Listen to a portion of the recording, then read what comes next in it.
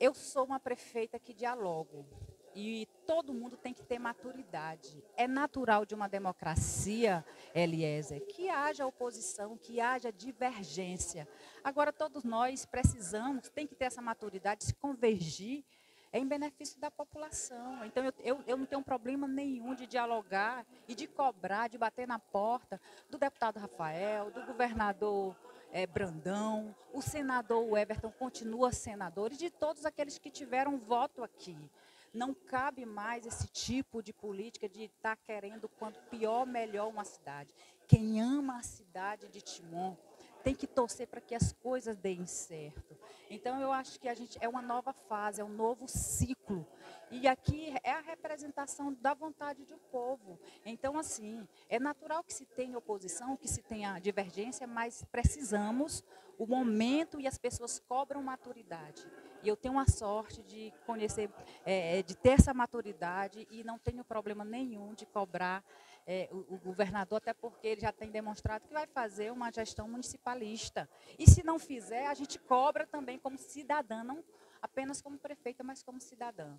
Professora, vai fazer a reforma no governo? É, é natural que em qualquer gestão, em qualquer momento, a gente possa fazer mudanças, uma aqui, mas com muita tranquilidade, no momento certo. A saúde, por exemplo? Não, a saúde, ela, ela está acontecendo de forma assim, claro que em todo o Brasil nós temos problemas em referente a recursos, não há problema de gestão. O Márcio deve ficar na... O secretário Márcio é vereador, está secretário, está fazendo Vai ficar. uma grande gestão. Então, no momento oportuno, qualquer mudança que a gestão fizer, nós vamos fazer com transparência e mostrando para a população. A infraestrutura, vamos é isso que eu estou lhe falando. Eu, eu, a gente está com foco, olhando para a cidade, no momento que nós estivermos, sentirmos a necessidade de fazer qualquer mudança em qualquer secretariado ou direção, nós iremos fazer com muita tranquilidade. Eu fui eleita pelo voto popular, o povo me escolheu daqui a dois anos, se eles gostam, ele continua.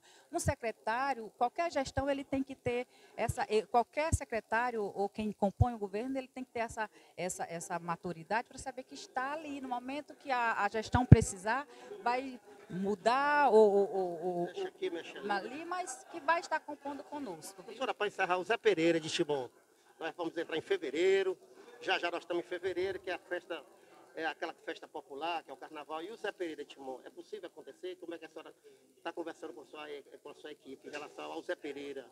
É, a nossa intenção, a, a, intenção da gestão municipal é que haja o Zé Pereira, né? Claro que a gente passou aí dois anos sem Zé Pereira por conta de uma pandemia. Vamos torcer muito para que não haja é, nenhum contratempo, nenhum problema de pandemia mais, que os números continuem da mesma forma, e a nossa intenção é que nós façamos o Zé Pereira. Tá bom, professora. Desejar aí para a senhora um feliz ano novo, que Deus, que Deus lhe dê muita visão, força, porque é um ano de muito trabalho. Com certeza, aproveito também para desejar para você e todos que lhe assistem também um feliz ano novo, com muita saúde, com muita paz e bênçãos.